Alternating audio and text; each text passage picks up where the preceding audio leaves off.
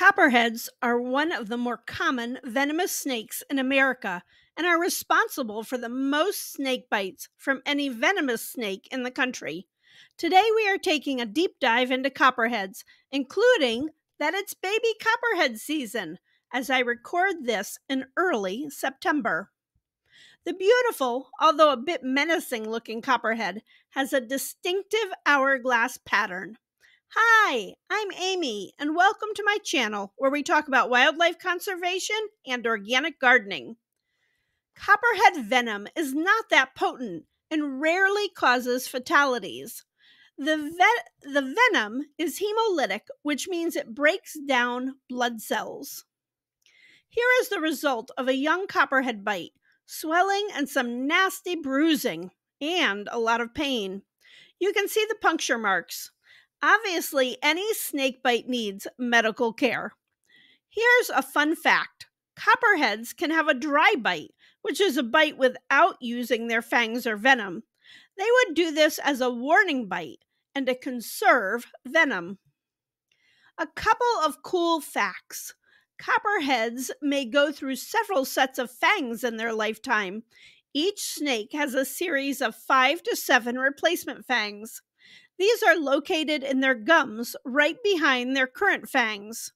Once the copperhead injects their venom, they need one to two weeks to replace it. Copperheads are common in the eastern and central U.S. They are state endangered in Iowa and Massachusetts. While they typically live in deciduous forests, they have adapted to more urban suburbs and developed areas. One reason they have the highest bite averages they live more commonly among people. Copperheads are pit vipers and can be identified by the triangular head and vertical pupils. As pit vipers, they have facial pits that sense heat. They use these to locate prey as well as predators. Male copperheads are larger than females and average three feet long. Copperheads are opportunistic and ambush predators.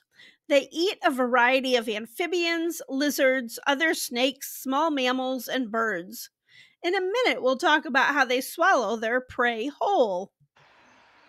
Copperheads are good swimmers and will catch fish. In my research, copperheads are often described as stout. This guy or girl is quite stout even knowing that they are eating what appears to be a good sized. Copperheads mate in the spring, and females give live birth in late summer and early fall. About five to nine babies are born, each within its own membrane. The young are born with fangs that have venom. Juveniles look just like adults, except for the tail. The best way to identify a young copperhead is by its yellow tail. They keep this yellow tail for the first two or three years of their life. It serves an important purpose in that it helps to lure prey closer to the body. Babies are born about eight inches long and about the thickness of a marker. They eat mostly insects in their first year. Maybe this baby copperhead knows toads are a food source but is contemplating how big it is. Opossums have a natural immunity to snake venom and will hunt and eat copperheads. Other predators are hawks, owls, and bigger snakes. I would never tell anyone to not go hiking. The chances of you seeing a copperhead are slim. Keep your eyes open and pay attention.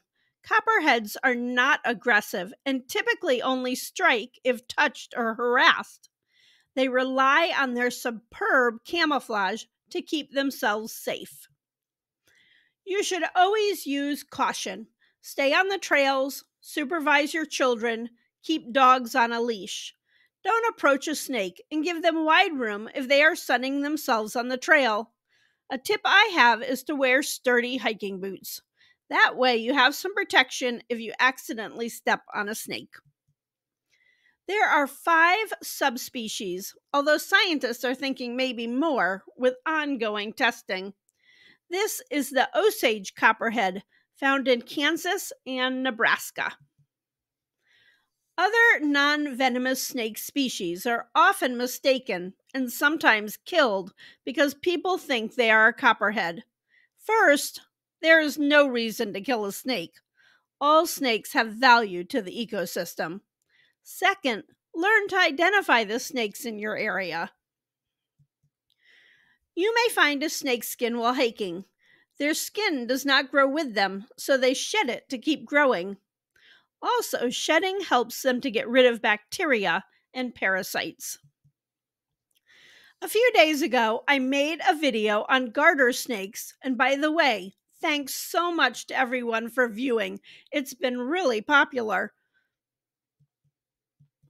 Anyway, I used the word unhinged to describe the snake's jaw process when eating, and a couple of people took offense. That term was used in a National Geographic article that I quoted, so I figured it would be good to look into it more closely.